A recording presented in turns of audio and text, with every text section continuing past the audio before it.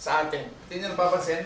Nagiging normal na lang at habang tumatayo tayo, habang tumatagal, nagkakaroon tayo ng confidence. Di ba? Ito naman yung mahalaga eh. Parang sa ganun, paglabas natin dito, talagang confident na tayo yung tumayo. No? Alam natin na may mga comments, pero yung mga comments na yun ay makakatulong sa atin. Amen? At hindi lang yon, no?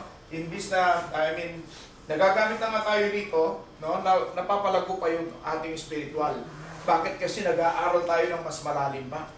Amen? Baka may magtanong, baka may, di ba, mga ganon na, na iniisip natin.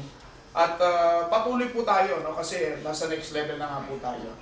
At ah, wag natin titingnan kung ano yung mga comments na ng iba, I mean, uh, destructive comments, but look at it as constructively. I mean, in that way, no, lalo tayong magturo, lalo tayong matututo, at lalo tayong nabibigyan ng confidence para pagtayo natin talaga sa maraming tao, amen, ang pangalan ng Panginoon ang lagi natin natataas. Amen po? So sa gabi ito, maganda ituturo sa atin ng Panginoon paano mapaglabanan ang temptation. Temptation. Ano ba sa Tagalog ang temptation? Tukso. Di ba? Tukso. No? So, paano natin makakayanan ang mga tukso na ito? At dito ipapakita sa atin kung paano ang ating Panginoon mismo ay napaglabanan ang tukso. Amen po? So, sa gabi ito, no, na po tawagin ko po ang ating kapatid, si Sister uh, Leonor, para sa mensahe ng Panginoon sa gabi ito.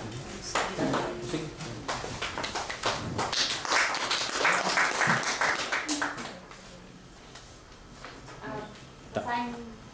Tayo po tumami muna sa pagbasa ng verse po natin sa gabi ito. Ah, sabay-sabay po tayo. One, two.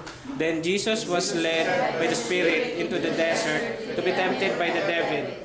After fasting 40 days and 40 nights, he was hungry.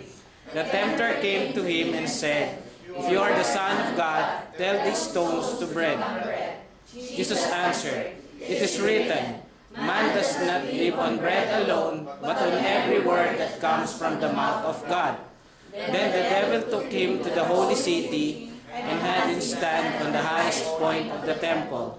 If you are the Son of God, he said, throw yourself down, for it is written, He will command His angels concerning you, and they will lift you up in their hands, so that you will not strike your foot against a stone.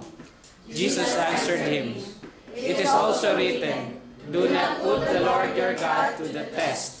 Again, the devil took to the very high mountain and showed him all the kingdoms of the world and their splendor. All this I'll give you, he said, if you will bow down and worship me. Jesus said to him, Away from me, Satan, for it is written, Worship the Lord your God and serve him only. Then the devil left him, and angels came and attended. Praise be to the reading of the God, ah, reading of the word. Uh, makaupo na po tayo. Amen. Hallelujah. Ah, maaari po ba tayong pumalakpak para sa? Tunay na nagagalak ang ating Panginoon pag tayo ay nagpupuri at pumapalakpak para sa Kanya. At ah, meron po akong isi-share na isang kwento sa inyo na merong isang mag-ina na nakatira sila sa bundok, sa malayong bundok. Sabihin na natin sa bundok ng Pralala. At um, itong mag-inang to, ang anak ang bata, ang pangalan ay Jesus. Ang kanyang nanay ay lagi siyang bumababa dun sa, sa bayan. Ang tawag nila sa bayan yan eh lupa kasi nakatira nga sila sa bundok bababa yung nanay. At yun ang laging bumibili ng pagkain mga kailangan nila. Ngunit isang araw, nagkasakit yung nanay. At uh, inutusan niya yung kanyang anak na bumili ng, ng kailangan nila ng bigas. Sabi ganun, anak, ah, bumili ka muna ng bigas sa palengke, bumaba ka muna sa lupa. Eh yung bata, hindi niya alam ano yung palengke. Anong palengke, Nay? Eh yung maraming tao. Eh saan ako bibili? Sabi naman ng bata. Diyan sa gitna, doon ka bumili, yung nagsasalita. O sige po, Nay, doon, ano, lalakad na po ako. Tapos bumaba na yung bata. Tapos pagdating niya doon sa may lupa, si Jesus, ah napadaan siya doon sa maraming simbahan. Ay, sa simbahan, sorry. At nakita niya maraming tao. Pumasok siya doon sa loob kasi yun nga na ano niya na. Sabi ng nanay, di ba, palengke, marami raw tao. Tapos may nakita siya dun na nagsasalita sa gitna.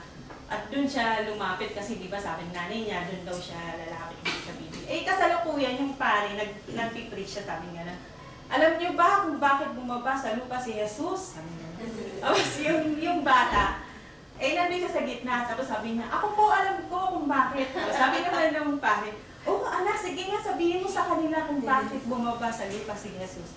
Ah, para po bumili ng bigas, yung ba, ah, napatawa ko lang po kayo. Ang moral lesson po dito ay kailangan natin ituro sa mga bata na kung sino si Jesus. Ayan. Amen. Ah, maaari po ba tayong tumayo at manalangin sa Diyos? O Diyos, Ama namin makapangyarihan po sa lahat, tunay o God na napakitungkilos po sa amin. Tunay, Panginoon, na wala po kaming may babalik sa inyo, kundi ang mataas na papuri at mataas na pasasalamat. Maraming maraming salamat po sa kalakasan na ibinibigay niyo po sa amin. Salamat, O God, sa gabing ito na binigyan niyo ako ng opportunity na makapagsalita ng inyong mga banal na salita, Panginoon. Alam ko po, Lord, na hindi po ako karapat-dapat na tumayo sa harapan. Subalit sa inyong pagmamahal, Panginoon, ako po ay nakakatayo dahil sa inyong pagmamahal na yun, Lord. Salamat po, Panginoon. At Lord, sa gabing ito ay kayo lamang po makita sa akin. Kayo po, Panginoon, ang mangusap sa akin, Lord. Kayo po, Lord, ang, ang inyong kaniningan lamang ang makita, Panginoon. At wala po akong itataas sa gabing ito, kundi ang inyong pangalan lamang, Lord. Kapurihan lamang po, Panginoon. At Lord, at anuman ang mga gawa ng kaaway, physical man, spiritual, ay hindi po ito makakagambala sa pag-aaral ng kanyang inyong Amen, Jesus'. O God, patawarin niyo kami sa mga kasalanan na aming nagawa. At kung may mga bagay na nagawa kami na hindi nakakalupit sa inyo, Lord, patawarin niyo kami, Lord. Linisin niyo kami ng inyong dugo. At palakasin niyo kami, Lord, ng buong puso, ng buong kaluluwa. At ng buong puso, Lord. At Lord, wala po akong may babalik sa inyo at ah, matapos ang gabi nito na may pagpapala po muli sa inyo. Amen. It is tamat na lang sa pangalan ni Jesus namin sa Pitas. Amen. Ah, sa bawat araw ng buhay natin, naharap tayo sa mga pagsubok at sa mga temptation. At ah, yung mga opisyalis ng gobyerno, maaari silang matukso para mandaya at para tumatanggap sila ng suhol, matutukso sila. At ang mga estudyante naman ay maaari din silang mandaya, matukso silang mandaya, at lalo na kapag ka dumadating ang mga examination at hindi sila nakakapag-review, matutukso silang mandaya. At tayo bilang mga Kristiyano ay naharap tayo sa mga ganitong sitwasyon. Ang kailangan lang natin ay paano natin mapapagtagumpayan ang mga temptation na dumarating sa buhay natin. At dito rin natin nasusubukan kung gaano ba tayo ka-faithful sa ating Panginoon. At isang parte ng buhay natin, ang, ang tinutukso tayo, nakakaranas tayo ng pagsubok. At abnormal tayo kung hindi tayo nakakaranas nito.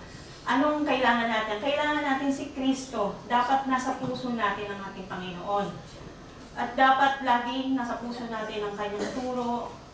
At yun ang magiging susi upang mapaglabanan natin ang mga temptation sa buhay natin. Katulad sa amin, sa aming mag-asawa, ah batid nyo naman na lagi kami nakakaranas ng mga temptation, mga pagsubok.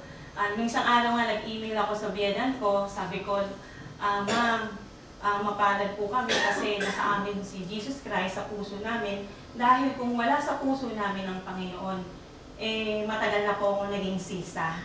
Baka hinahanap ko ako ngayon si Basilio at si Crispin. At dahil nasa puso namin